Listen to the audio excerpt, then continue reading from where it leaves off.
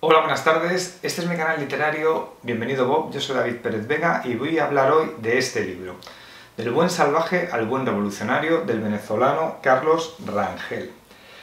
Eh, Carlos Rangel nació en Caracas en 1929 y murió allí en 1988.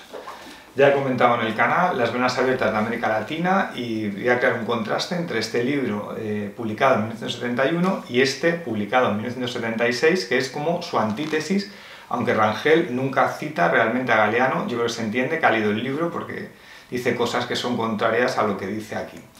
Este libro no está editado en España o está agotado, yo no lo he encontrado. Lo he encontrado en una librería de segunda mano publicado en Venezuela en los años 80. Y como tengo bastantes cosas que comentar, voy a empezar ya, porque si no se me va a acabar la media hora que tengo pensada para, para no tener que enlazar un vídeo con otro y que no dure más. Vale, el primer capítulo de este libro, bueno, la introducción Rangel apunta a lo siguiente. Los latinoamericanos no estamos satisfechos con lo que somos, pero a la vez no hemos podido ponernos de acuerdo sobre qué somos ni sobre lo que queremos ser. ¿En qué consiste exactamente esto de ser latinoamericano, que compartimos desde el río Bravo hasta la Patagonia? Dice Rangel que principalmente va a hablar de las 18 naciones americanas que habla española y va a dejar un poco fuera a Brasil. Vale, el capítulo 1 se titula Del buen salvaje al buen revolucionario y dice eh, Rangel que los mitos fundacionales de América no son absoluto americanos, eh, están creados por la imaginación europea. Cuando Colón llega a América empieza a hablar del paraíso terrenal porque es una persona con mentalidad medieval empiezan a buscar las fuentes de la juventud eterna asociado al mito del dorado. Pero el mito más potente es el del buen salvaje relacionado con el nuevo mundo. Por causa del mito del buen salvaje, Occidente sufre hoy de un absurdo complejo de culpa, íntimamente convencido de haber corrompido con su civilización a los demás pueblos de la Tierra. Según este mito, dice Rangel, América sería libre de corrupción cuando vuelva a ser el paraíso terrenal. Eh, los latinoamericanos somos a la vez descendientes de los conquistadores y el pueblo conquistado de los amos y los esclavos, dice Rangel. El buen salvaje será alcanzado a través de la revolución, a través del buen revolucionario, según este mito. ¿no? A los criollos americanos les, les fascinaba la rebeldía exitosa de los colonos ingleses de América del Norte. Rangel habla de las leyes de Indias que los españoles figuraban numerosas disposiciones destinadas a proteger a los indios en contraste con los gobiernos republicanos de Hispanoamérica, una vez que se independizan, que va a representar exclusivamente a los hacenderos criollos. Los criollos no tienen otra meta que mantener intactos los privilegios sociales del latifundio y el peonaje. Eh, y empieza ahí un momento que empiezan a dar explicaciones o excusas del fracaso de Latinoamérica en relación al éxito de Norteamérica y culpan al indio, al negro y a la mezcla de razas y al imperialismo norteamericano. El capítulo 2 se titula Latinoamérica y los Estados Unidos. En 1970 el imperio español parece más rico y próspero que las colonias inglesas de Norteamérica y cuando nace el país Estados Unidos en 1776 no parecía nada formidable. A finales del siglo XIX Estados Unidos era un país productor de materias primas que exportaban e importaban manufacturas y capital, las mismas condiciones que en el siglo XX se asegura que causan la pobreza en Latinoamérica. Eh, una cosa cultural que encuentra Rangel es que desde el comienzo prevalece en Estados Unidos la idea de que el imperio de la ley es una conquista fundamental, esto viene del protestantismo. Eh, el imperialismo norteamericano en América Latina no es desde luego ningún mito, solo que es una consecuencia y no una causa del poder norteamericano. Y esto así parece Rangel quitarle importancia a la influencia de Estados Unidos sobre Latinoamérica, porque a diferencia de lo que dice Galeano, pues él va a mantener que Estados Unidos es un espejo positivo para América Latina. Rangel habla de la, doctrina de Monroe, que en el siglo XIX, planteada por Estados Unidos, según la cual los países americanos llegan a un acuerdo de ayuda mutua en caso de que los europeos traten de colonizarlos. Eh, solo a partir de la guerra con Cuba, en 1898, Estados Unidos cobra conciencia de gran eh, potencia y empieza a principios del siglo XX a construir el Canal de Panamá, que según Rangel ha traído riqueza a la zona y que cuando interviene en el Caribe, Estados Unidos y los marines, solo es para defender los intereses del canal. Eh, se burla un poco la idea Rangel de que los demócratas latinoamericanos, le pone entre comillas, se refiere a la izquierda, Se alegran de la desaparición de Trujillo, aunque no parece gustarles la idea o no hablan de ella, de que la CIA está detrás. En cambio, eh, parece de buen tono ponernos francamente trágicos cuando se habla del pobre Allende y pone en el texto Allende entre comillas y yo aquí ya empiezo a sufrir un choque cultural con el libro. Vale, critica el victimismo latinoamericano que señala que los Estados Unidos son ricos porque ellos son pobres, que es lo que decía Galeano. Los Estados Unidos han contribuido de forma positiva al desarrollo americano. Por ejemplo, te dice que la Constitución argentina en 1850 está casi calcada de la de Estados Unidos. Y, que, dice que de no haber existido Estados Unidos la doctrina Monroe, Latinoamérica podría haber sufrido un colonialismo europeo como el que sufrieron África y Asia. Eh, el éxito del siglo XX de Estados Unidos parece una ofensa y que solo se compensa al pensar que el éxito de Estados Unidos frente al de Latinoamérica se hace a su costa. Bien, te dice que a partir de 1952 Estados Unidos sospecha que Stalin se está fijando en Latinoamérica para expandir sus ideas. Eh, en 1959 Castro llega al poder en Cuba y que hasta entonces había sido una dependencia norteamericana y en 1959 Castro se transforma en un héroe en América Latina a la altura de Bolívar. Eh, Rangel empieza a identificar algunas situaciones grotescas en las que se culpa a la CIA de los problemas latinoamericanos. Así, por ejemplo, habla de que cuando el escritor Gabriel García Márquez quiere dejar el, PC colombiano, se le acusa a García Márquez de ser un agente de la CIA. Sigue con varios casos de estos en los que de forma ridícula se acusa a la CIA de cosas propias de Latinoamérica, pero claro, parece quitar una importancia real en el texto con este recurso narrativo a la importancia real de la CIA en algunos conflictos reales de Latinoamérica de los que luego no habla. Vale, en el capítulo 3, Eres y traidores, dice, los, latinoamericanos quieren verse a sí mismos como víctimas de España en la conquista de la colonia y se quieren ver ajenas a todo lo español.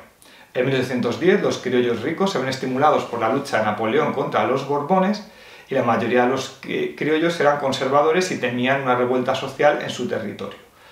Eh, y lo que aspiraban era ocupar los puestos de poder. Todo esto generó una guerra civil eh, nacionalista y patriota eh, que hace suya la leyenda negra expandida por Fray Bartolomé de las Casas en 1552. De este modo, los descendientes y herederos de los privilegios de los conquistadores llegaron a convencerse de que eran los descendientes de los indios asesinados y esclavizados. Eh, muy pocos españoles peninsulares tomaron parte en los combates. En realidad dice Rangel que se trataron de guerras civiles. Y estas nuevas naciones nacieron pobres y debilitadas. La América española se va a disipar durante el siglo XIX en pugnas intestinas, guerras civiles y golpes de Estado, estableciendo la falsa disyuntiva entre centralismo y federalismo. El capítulo 4 se titula Ariel y Caliba dice que el argentino Domingo Faustino Sarmiento fue ministro de Washington, eh, fue ministro argentino en Washington y que trajo consigo a Argentina ideas progresistas y que Estados Unidos era el modelo que debían seguir. En su libro Facundo es la biografía de uno de los caudillos regionales exterminados por Rosas. La barbarie sería el estado natural de las repúblicas latinoamericanas. Así te dice, por ejemplo, que en 1845 en en la zona de La Rioja, en Argentina, estaba ocupada los puestos de los tribunales por hombres que no sabían nada de derecho. Y apenas 35 años antes había allí libros, ideas y un espíritu europeo. En ningún caso Sarmiento idealiza al gaucho, al indio ni al folclore. Y ve que hay una superioridad de los pueblos europeos no hispánicos y de Estados Unidos que le parece evidente. Para Sarmiento, la Argentina de 1645 es algo parecido a la Edad Media. A mediados del siglo XIX en Argentina se fomentó la inmigración y el país llegó a tener tantos habitantes nacidos allí como en el extranjero. A finales del XIX, la Pampa Argentina se convirtió en una de las regiones agropecuarias más productivas del mundo. Por eso a Rangel le extraña que los tóxicos de los inmigrantes europeos se sientan los herederos de los indios en contra del imperialismo yanqui. Eh, como representación de la teoría del buen salvaje, Rangel habla del telurismo, que afirmaban que había un genio eh, local en la tierra más importante que ninguna otra determinación para la cultura. Por ejemplo, Ricardo Rojas dice, cuando tres siglos después se expulsa al conquistador, se produce una reivindicación nativista.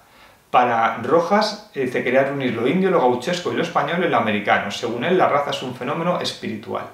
Para el mexicano José Vasconceles, eh, el mundo industrial blanco y el tercer mundo tienen que servir de puente a América Latina entre ellos y crea la fábula de la raza cósmica. A Rangel le sorprende que Rojas o Vasconceles fueran tomados en serio, o que un libro como Ariel de 1900 del uruguayo José Enrique Rodó se tomara también en serio, porque era, Rodó era un admirador de Atenas y pensaba que Latinoamérica debía ser la nueva Atenas. En el capítulo 5 se titula Latinoamérica y el marxismo. Eh, dice Rangel que Lenin, con la teoría del imperialismo y la dependencia, es el que ha ofrecido una respuesta grandiosa y coherente al complejo de inferioridad de los latinoamericanos frente a Estados Unidos. Los intercambios económicos y culturales de este modo solo darían riqueza a la metrópoli y pobreza a la periferia, pero dice que Marx nunca expuso algo así. Eh, dice Rangel que hacia finales del siglo XIX los salarios reales de los trabajadores no paraban de subir y fue así cuando Lenin, Hobson y Hindenfield promovieron la idea de que el imperialismo era donde el capitalismo estaba encontrando su fortaleza. Dicen, el proletariado de hombres de los países capitalistas avanzados se había demostrado en la práctica insuficientemente combativo, decepcionante, vulnerable a mejoras reformistas en el sistema de vida y sus consecuencias de trabajo. Lo que pasa es que Rangel dice como que este hombre obrero de finales del XIX europeo como que ya no tenía ganas de rebelarse, pero parece que está olvidando las luchas obreras que han llevado a que mejoren las condiciones de estos trabajadores. Dice que fue en el segundo congreso de la Internacional Comunista, en Moscú en 1920, cuando se afirma que la gran mayoría de la población mundial está en manos de una minoría insignificante y que entonces deben apoyar todos los movimientos disidentes tales como el nacionalismo irlandés o el de los negros norteamericanos. Los países atrasados, según esta tesis, podrían llegar al desarrollo a través de la revolución. El peruano Víctor Raúl Aya de la Torre fue el fundador del partido Alianza Popular Revolucionaria Americana, el APRA y chocó contra el leninismo porque no quería abrazar estas ideas para ser carne de cañón de una revolución mundial. Eh, y claro, chocaron el, el, APRA con el socialismo internacional. El aprismo fue, según Rangel, y sigue siendo, la alternativa socialista latinoamericana al marxismo-leninismo. El aprismo no proponía como meta ninguna dictadura del proletariado, sino la abolición de las estructuras de poder opresivas de Latinoamérica el establecimiento de democracias reformistas. Pero claro, aquí aparecen Fidel Castro y el Che Guevara, que eh, quieren tomar la democracia por las armas, digamos, y entonces los partidos apristas pierden a la izquierda y a la juventud. Eh, para Rangel sigue vigente el mito de los problemas de Latinoamérica vienen de fuera y sobre todo la, la actualidad de la que habla, 1976, que todavía es la Guerra Fría, el antiimperialismo norteamericano que quiere crear más vietnames en la zona de Latinoamérica. Vale, el capítulo 6 se titula Latinoamérica y la Iglesia y dice, la Iglesia Católica tiene más responsabilidad que ningún otro factor en lo que es y lo que no es América Latina, aunque dice que sigue habiendo 300 millones de católicos allí. La emancipación fue lo primero que en América Latina se hizo sin la voluntad de la Iglesia. Sin embargo, los nuevos países se declararán católicos. Eh, y la Iglesia siguió conservando sus privilegios, unida a los partidos conservadores. Entre la América católica y la Norteamérica protestante se empieza a crear una gran diferencia, ya que el protestantismo está más conforme con la democracia. La diferencia entre las dos Américas no es solo de éxito económico y de poder, sino de moralidad pública y privada. En Norteamérica no se da, por ejemplo, la indefensión de la mujer madre soltera de Latinoamérica, dice. En Latinoamérica se da mucha más eh, se da más la responsabilidad paterna que en Estados Unidos. Y esto se arrastra, según Rangel, desde la época de los conquistadores españoles, que desataron en Latinoamérica su afán de lujuria. Eh, la evangelación cristiana no va a distinguir el objeto político económico. Los, los frailes llegarían a ser en Latinoamérica tan numerosos como los funcionarios. A favor de la Iglesia, Rangel señala que en el siglo XVI se debatió por primera vez el derecho de los fuertes a esclavizar a los débiles y que las leyes de Indias no se llegaron a cumplir, como en las minas de Perú, que los indios no se les permitía salir a la superficie. Esto coincide Rangel con Galeano. Rangel se cuestiona las, grandes cifras sobre el exterminio de indios. Los aborígenes de América, lejos de ser exterminados, continuaron siendo la inmensa mayoría de la población. En México, la Iglesia llegó a poseer eh, un quinto del territorio. Habla luego de los jesuitas que llegaron a Paraguay en 1588 y crearon 30 misiones con 100.000 indios. Los jesuitas dice que trataban a los indios como si fueran adultos a cargo de niños. En 1767 el rey Carlos III expulsó a los jesuitas del imperio español y confiscó sus propiedades. Y en pocos años los indios se dispersaron. En el siglo XIX se despoja Latinoamérica a la Iglesia de sus propiedades y privilegios. En el siglo XX se está dando una simpatía entre comunistas y la Iglesia, ya que los comunistas se han convertido en apologistas de la pobreza, pobreza ejemplar. Según Rangel, las sociedades liberales, incluso en Latinoamérica, las iglesias están vacías, mientras que en, que en, ninguna parte la fe católica está tan viva como en las comunistas Polonia o Hungría. Bueno, hay un momento que también Rangel dice, como liberal, que va a usar el método científico, pero yo creo que a veces también exagera y no da unos datos demasiado verídicos, no estoy seguro de esto. El capítulo 7 se titula Algunas verdades y dice, la Iglesia Católica, la influencia de los Estados Unidos y más recientemente del marxismo no son elementos exteriores a Latinoamérica, sino de una manera u otra factores de la esencia latinoamericana. Para Rangel existe en la actualidad una sobrevaloración comprometida del componente aborigen de la cultura latinoamericana, ya que lo que se busca en ese momento es potenciar el mito del buen salvaje. Dice Rangel que indios puros hay en América Latina entre 15 y 20 millones, menos del 10% de la población, y que es falso postular que el ser esencial de los latinoamericanos se derive de las culturas precolombinas. Dice que la verdad es que somos sobre todo herederos biológicos y culturales de los presuntos invasores. Además, eh, dice que no puede haber mucha gente en Latinoamérica porque los animales eh, asociados a la prosperidad humana, digamos, los caballos, los asnos, vacas, cerdos, cabras, conejos, aves de corral, no se conocían allí ni tampoco el trigo, el centeno, la vid, la caña de azúcar o los cítricos. Y entonces, según incluso Federico Engels, dice que estos pueblos tenían que ser pobres en población y vitalidad. En Perú, por ejemplo, cuando se habla de la cultura inca, Rangel señala que era una cultura plenamente jerarquizada, que los pobres no podían ser escolarizados y que no era una democracia como la conocemos nosotros en absoluto. Dice Rangel que el andaluz, el extremeño y el castellano que se iban a las Indias no se sentían de España y menos de América. Y esto no va a ser así con los emigrantes de Estados Unidos y además en Latinoamérica está la figura del indiano que sueña con regresar a España. El colono norteamericano llega a América dispuesto a ser un pequeño agricultor y en Latinoamérica el colono llega a América para fundar pueblos y controlar el territorio. El latifundio le parece un lastre a Rangel solo cuando tiene su origen en una sociedad esclavista. Los descendientes de los esclavos han heredado la idea de que otros decidan por ellos, y aunque sean libres, cuando tienen los beneficios de la tierra para ellos, o los indios no hispanizados no saben cómo hacerla prosperar. Las haciendas latinoamericanas no producían para la autosuficiencia, sino para la exportación, y aquí se parece un poco a lo que dice Galeano.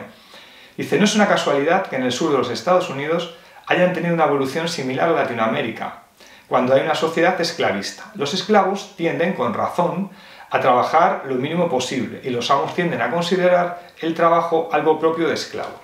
La sociedad eh, latinoamericana del 16 tiene unas proporciones de hidalgos, clérigos, licenciados, gente que no trabaja en realidad, mayor que la de la sociedad europea de la época. En Estados Unidos fue en Inglaterra, lejos de los campos de algodón, donde se desarrolló una industria textil al amparo de un arancel proteccionista. En pocos años el norte se industrializó y en 1960 el sur fue a la guerra convencido de que debía romper la dependencia que tenía con el norte. Vale, el capítulo 8 se llama Algunas verdades más. Dice que España, en 300 años de imperio en América, llegó a no diferenciar rígidamente entre metrópoli y colonia, sino que lo logró trasladar su cultura a Hispanoamérica. Para los norteamericanos, declararse independiente no supuso un desgarro espiritual, pero para los latinoamericanos sí fue una profunda crisis moral. En la Guerra de Independencia, Venezuela perdió a más de la mitad de la población como en Uruguay. En 1800, el naturalista Humboldt se maravilló de la celeridad y seguridad con la que una carta podía llegar de Buenos Aires a México, y en el siglo XIX las comunicaciones quedaron más de un siglo interrumpidas, sin embargo. España creó en Latinoamérica sociedades cerradas y poco propensas al comercio, y en 1824 tuvieron que abrirse a este comercio mundial capitalista. Los criollos que dirigían los países latinoamericanos eran los descendientes de los que se quedaron en América habiendo querido volver a Europa. Y una parte de ellos permanecerá fuera de la sociedad. El capítulo 9 se llama Las formas del poder político en América Latina 1 porque luego hay más. Dice, las repúblicas latinoamericanas no han logrado establecer un equilibrio institucional en el reemplazo del que fue destituido entre 1810 y 1824. En Bolivia, desde 1835 hasta 1976, ha habido más de 160 guerras civiles o golpes de Estado. Y lo que ha solido ocurrir es que han aparecido caudillos que han llevado a Hispanoamérica a un feudalismo primitivo. Dice, para ser un caudillo en Latinoamérica durante 50 años hace falta el apoyo de los Estados Unidos, y aquí parece darle la razón a Galeano. Según Rangel, Argentina es el más exitoso de los países hispanoamericanos, pero sufre un gran complejo de inferioridad respecto a Estados Unidos.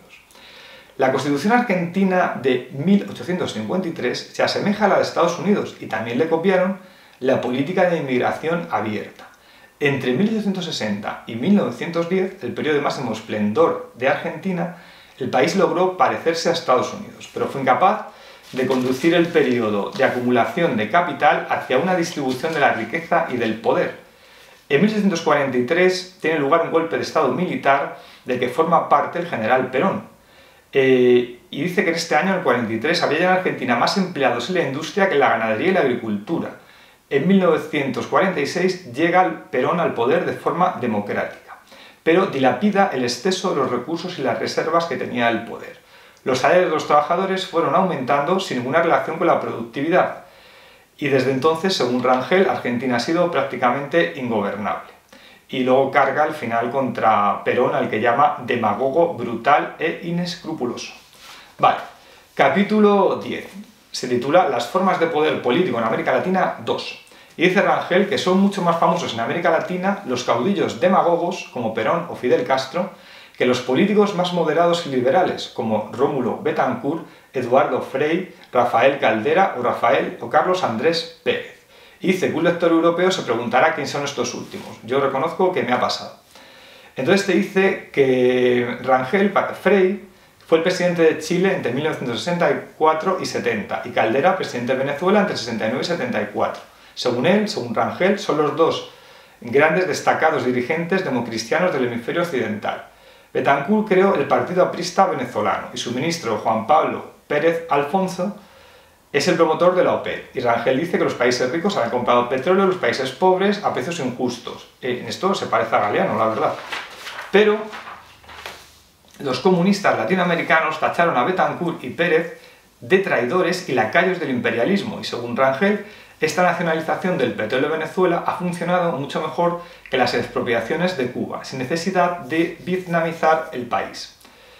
Eh, en 150 años de independencia, Chile había llegado a formar una sociedad de unos valores homogéneos para toda la sociedad. Eh, se había abierto a los valores y avances culturales de Occidente. Allende eh, llegó electo a Chile solo con el 36,2% de los votos, mientras que el candidato conservador Jorge Alisandre tenía el 34,9%.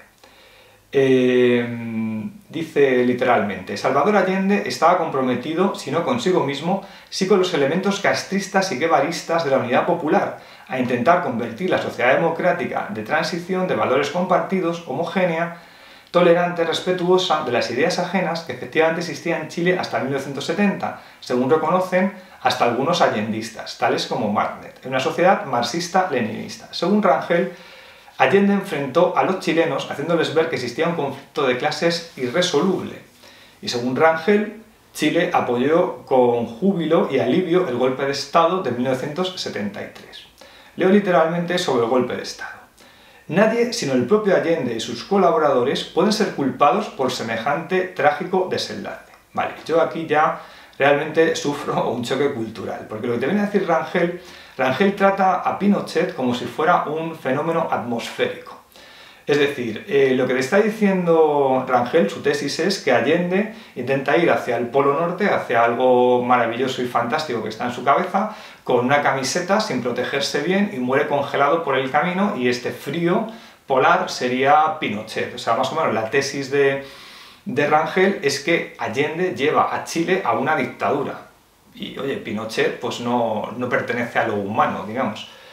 Eh, entonces, bueno, aquí es donde yo sufro un choque con este libro, cuando realmente esto que está hablando de la iglesia o las sociedades esclavistas y todo esto me estaba interesando bastante. Dice Rangel que Allende empezó a subir los salarios en Chile, congelando los precios y subiendo el gasto público. Que esto provoca un incremento del empleo en el 71 y los salarios reales crecen un 30%, pero esto es como un, eclipse de algo que va a pasar después, que empieza a crecer la inflación, aparece el mercado negro, Chile se declara insolvente y solicita una moratoria de la deuda externa. Eh, para mí, por lo que he leído en otros sitios, Rangel está mm, obviando, está, no está hablando del bloqueo que sufre Allende de la parte de la clase alta chilena apoyado por Estados Unidos, que casi no lo cita, porque cuando habla de, del paro de los camioneros, pues dice, no, puede estar la CIA detrás, pero recordemos que en el capítulo 2, astutamente, ha ridiculizado la idea de que la CIA interviene en, en América Latina. Entonces, claro, ya es como que esto se lo ha montado Allende solo y que Estados Unidos no está detrás. Capítulo 11. Las formas de poder político en América Latina. Te habla de un golpe de Estado que hubo en Perú por los militares en el 68 y que eh, en vez de bloquear al APRA, pues se hacen como con sus ideas y esto es, saludado por la izquierda latinoamericana, aunque hicieron desaparecer la prensa libre. Eh, y bueno, y luego el libro finaliza contra una diatriba contra Fidel Castro, el marxismo-leninismo, principalmente es un libro antimarxista. Mi conclusión es que me ha gustado, la verdad, leer casi seguidos estos dos libros, Las venas abiertas de América Latina, Eduardo Galeano, 1971, y Del buen salvaje al buen revolucionario, Carlos Rangel, 1976. Vale, como conclusión final, a ver si me da tiempo los cuatro minutos que me quedan, eh, creo que Galeano peca de victimista y de aceptar a pie juntillas la teoría de la dependencia. Ya he dicho en otro vídeo que creo que falla en el análisis que hace la riqueza de Argentina a finales del siglo XIX. Y hierra también, como él mismo reconoció, en la exaltación del régimen cubano. Me gusta el análisis que hace Rangel del posible fracaso de Latinoamérica como un fracaso propio a raíz del tipo de sociedades que se constituyen con amos y esclavos o del poder de la Iglesia. Y claro, también me parece lógico esto que dice Rangel, que la mayoría de los latinoamericanos actuales descienden no de los indios, o no solo de los indios, sino de esta mezcla entre los europeos y los indios, y que culturalmente están más cerca a Europa que a las culturas precolombinas. Pero creo que Rangel yerra en su afán anticomunista, minimiza la importancia de la intervención de Estados Unidos en los conflictos latinoamericanos del siglo XX. El libro de Rangel se publica en el 76, y claro, puede que aquí no conozca el apoyo de Estados Unidos a Videla, el golpe de Estado en el 76. Pero claro, sí tenía que haber conocido el golpe de Estado en Bolivia en el 71 por el general Hugo Wagner, en la República Dominicana en el 61 por Trujillo, o no habla de los intereses de la compañía de American Fruit Company hicieron que Estados Unidos ayudase a establecer dictaduras en Centroamérica, como en El Salvador o Nicaragua. De esto directamente no habla porque la tesis de Rangel es que Estados Unidos eh, ha sido una influencia positiva para América y no negativa. De estas realidades, Rangel prefiere no hablar y lanza su diatriba contra Cuba y contra Chile, donde a mí me parece, la verdad, un poco tremendo cuando Rangel dice que eh, Allende llevó a Chile, al país, a una dictadura. Pero bueno, en general ya digo que con sus sombras y sus luces los dos libros me han parecido interesantes y creo que me han llevado a conocer mejor la cultura latinoamericana, o al menos un periodo, el de los años 70, la Guerra Fría, tenía que conocer más, por supuesto. Pero bueno, dado mi interés por la literatura de estos países, pues conocer algunas de sus influencias y trayectorias políticas vistas desde puntos de vista muy diferentes, me ha interesado y espero que a vosotros os interesa, podamos hablar de esto tranquilamente, sin exaltarnos demasiado, como ya me pasó en las redes sociales, y creo que, bueno, en el minuto que me queda, hago el momento spam con mis libros, Los Insignes, novela cómica sobre, sobre los poetas, las aspiraciones delirantes de la poesía, eh, esto no es Bambi, sobre el trabajo, y eh, caminaré entre las ratas sobre la crisis del país, la crisis personal de alguien que va a cumplir 40 años, y me despido hasta aquí, que creo que he hablado un poquito acelerado, hasta luego y nos vemos en la siguiente y podemos hablar tranquilamente de todas estas cosas.